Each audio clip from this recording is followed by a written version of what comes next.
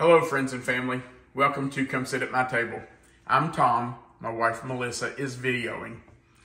Today is March 19th, and it should not be as cold as it is.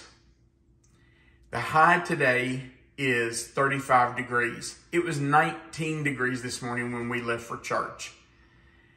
It's just too cold for me. So we got home from church a few minutes ago, and Melissa and I decided we need a mug of hot chocolate. So that's what I'm getting ready to fix. This is what you're going to need to make homemade hot chocolate. You're going to need two tablespoons of butter, one tablespoon of cornstarch, and we will put the butter and cornstarch together and let that cook for just a few seconds to help dissolve that cornstarch.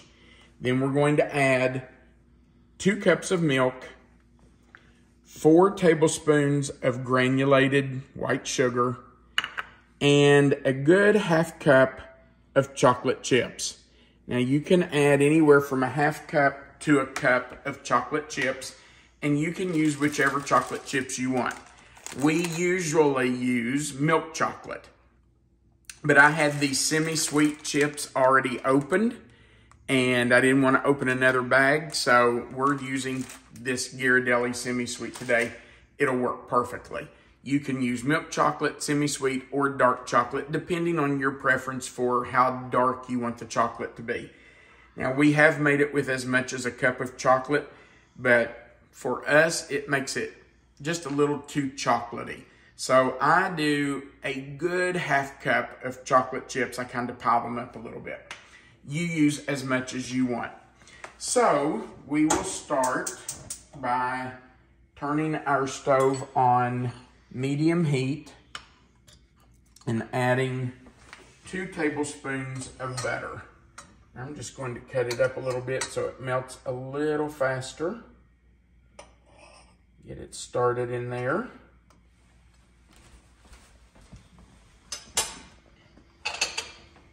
Once that butter is melted, we're going to add one tablespoon of cornstarch.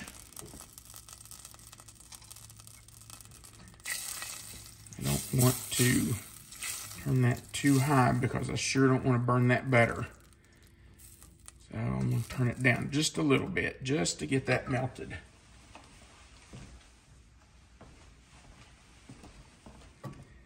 And it's almost there. Now, going to add in our tablespoon of cornstarch. I'm going to whisk that in just until it begins to bubble.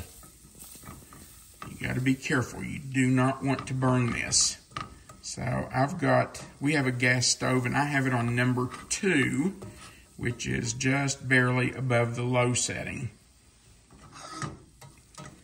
But you do want to cook this for just a few seconds to make sure that it's dissolved. And then we'll start adding our milk. And I'm going to add that a little bit at a time. just to I'll try to do this backhanded so you can see what I'm doing. Try to get that butter and cornstarch dissolved in the milk. Now that it's dissolved, I can add the rest of it.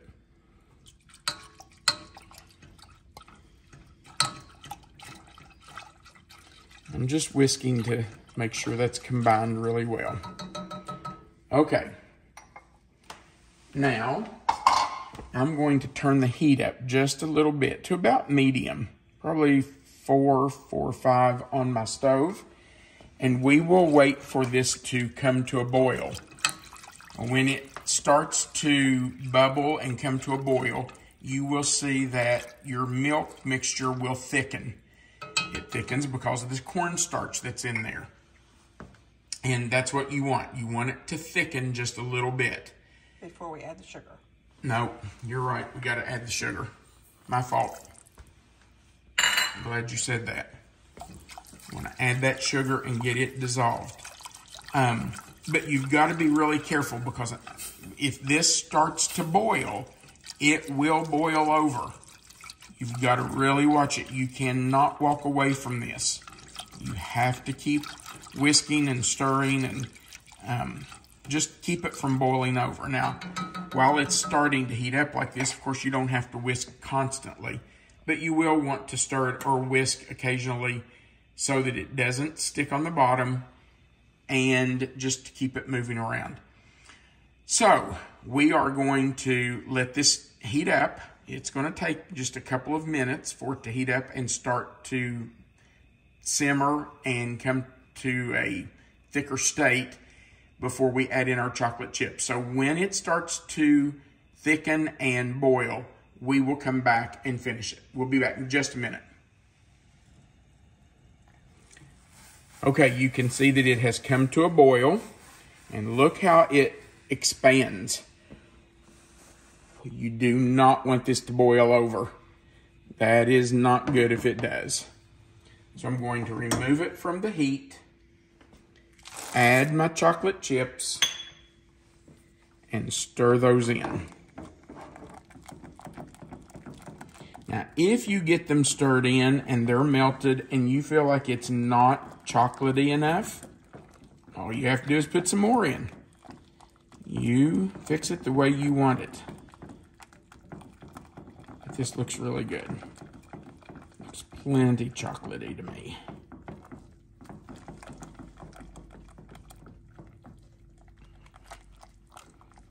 Wow. It smells good too. It really does. And you can see it's thickened slightly.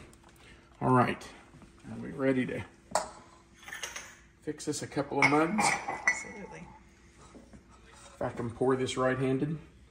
I put marshmallows in mine. We didn't have any um, miniature marshmallows, but we had some big ones, so just put those in there.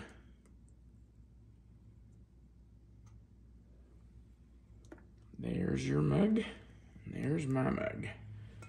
Yum. Get rid of this pan.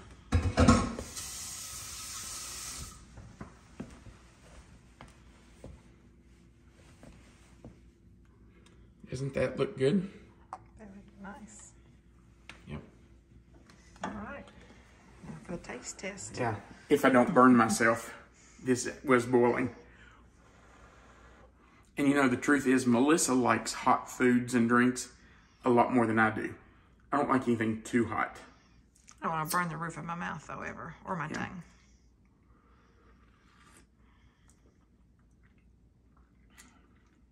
Oh, that's perfect.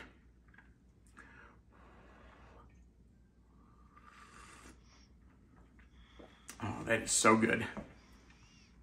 All right, if it's cold, maybe it's even snowy where you are. Thank goodness it's not snowy here.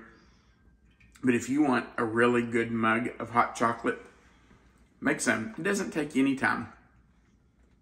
There's nothing wrong with those little packs of hot chocolate mix that you stir into milk, but this is really good and it's very easy. We hope you enjoy it. If you would, we would appreciate you going right below this video and clicking the thumbs up button.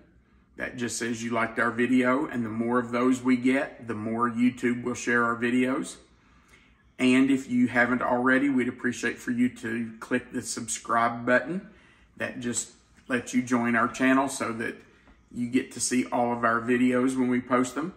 And there's a little notification bell right beside the subscribe. If you'll click that and click the word all, it will just notify you every time we add a new video. So you'll know there's been a new one added. We do appreciate you watching our videos. And remember, you are always welcome to come sit at my table. Have a great day.